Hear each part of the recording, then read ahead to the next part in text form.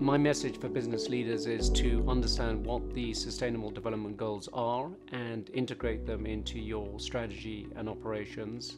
Be aware, be engaged, be involved, get onto the playing field. Achieving the global goals is not a spectator sport.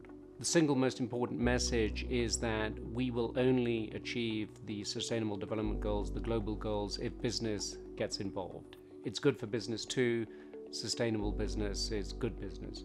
This is urgent. We gave ourselves 15 years to achieve the global goals. Over a year has already passed. Uh, we need to take action urgently.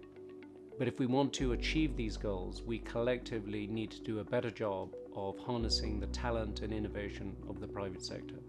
We need to do a better job at collaboration, at public private cooperation, and at using blended finance to achieve the Sustainable Development Goals.